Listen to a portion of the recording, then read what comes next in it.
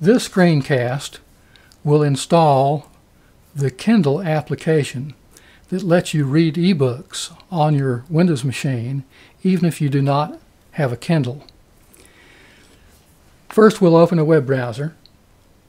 I open Firefox by clicking on the icon with the left mouse button. When Firefox comes up, I'm going to go to Amazon,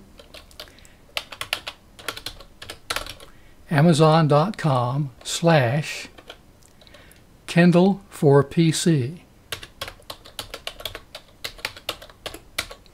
K-I-N-D-L-E-F-O-R-P-C. Hit enter.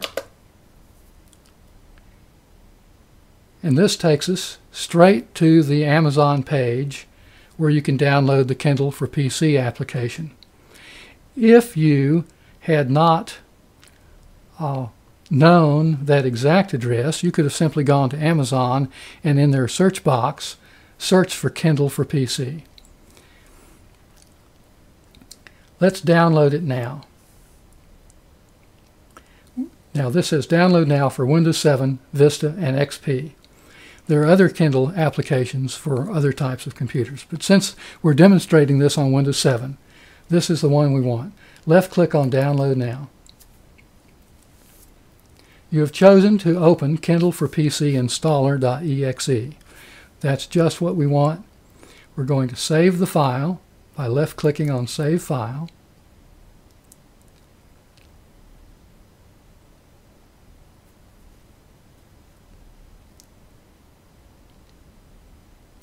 It gives me a ch choice of where to put it. I'm going to put it in the Downloads directory.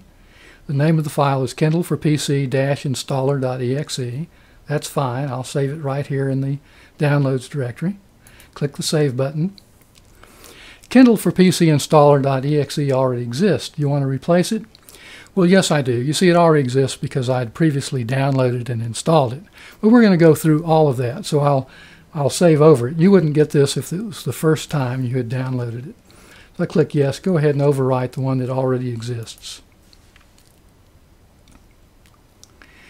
Firefox opens the Downloads window, and we see the progress as it's saving it to the disk. We know we stored it in the Downloads directory, and we could go to that directory to double-click on it to start the installation. However, because we have Firefox set up to leave the Downloads window open after it downloads a file, we don't even have to go there to the, to the Downloads directory. We can double-click right here in Firefox Kindle for PC installer.exe. We'll double click with the left mouse button.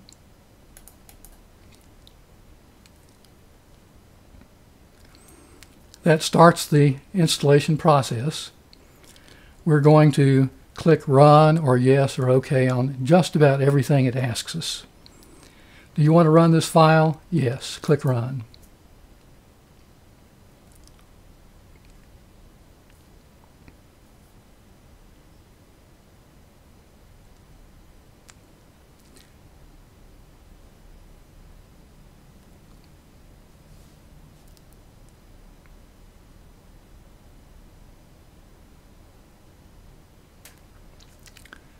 Okay. It opened it, and because it knew who I was already, it had my account information. It opened a list of the books that I have on Kindle. Those are books that I have on my real Kindle, but it keeps track of that, and I can I can download those from the Kindle for PC application and read them on the PC. This works even if you don't have a real Kindle. So I'm now going to close the Downloads window for Firefox. I'm going to close Firefox. That's how you install Kindle for PC. It puts a, an icon on your desktop. You can also, if you, if you uh, were to delete that for some reason, you can click on the Start button and type Kindle and see what comes up. One of them is going to be this, Kindle for PC. So to start that, click there, or click there, or double click there. So let's click here. And here it is with a lot of different books that are already there in my Kindle. Uh, we can see the downloaded items, and we can see the archived items, and so forth. And we can see the books that are borrowed, and, and, and on and on. So that's how to install Kindle for PC.